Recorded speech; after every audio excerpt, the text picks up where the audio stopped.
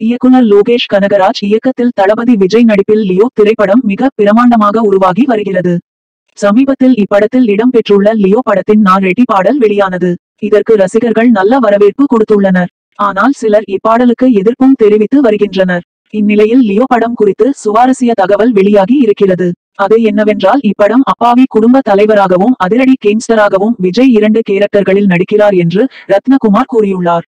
Leo படத்தில் ரத்னகுமார் வசனம் எழுதியிருப்பது குறிப்பிடத்தக்கது.